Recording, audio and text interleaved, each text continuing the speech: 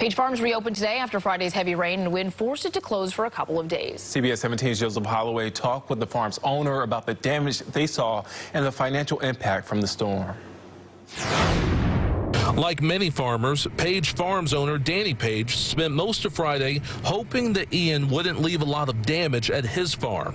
About 6 o'clock, all the tarps started flying off. Saturday we was closed, we was cleaning up and just picking up limbs. We had a tree on the house. The storm not only has a physical impact, but a financial impact. People come out this time of year to enjoy the pumpkin patch, corn maze, and hay rides. But closing Friday and Saturday means losing a lot of business.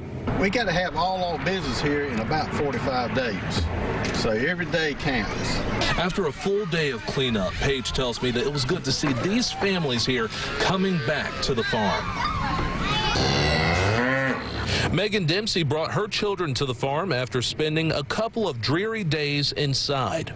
We just weren't sure if they were open, so we called this morning and they said they were open and everything's okay. Yeah, it's great. It's nice after being inside for a few days with the kids on the rainy weather.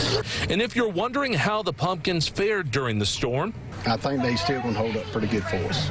If you purchased online tickets for one of the days the farm was closed, those tickets will be valid for the rest of the season.